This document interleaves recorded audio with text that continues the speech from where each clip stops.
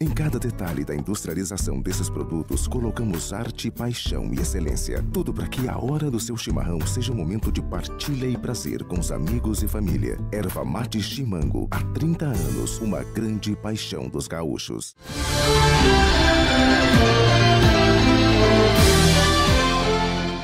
Os bombeiros voluntários de TAPES atenderam no início da noite da terça-feira, 18 de julho, uma ocorrência de incêndio em um veículo no quilômetro 4 da ERS 717. Conforme as informações da guarnição que atendeu a ocorrência, o veículo Ford Fiesta foi completamente destruído pelas chamas. Felizmente, ninguém ficou ferido. Motoristas que seguiam em direção à saída do município tiveram que redobrar a atenção até a retirada do veículo.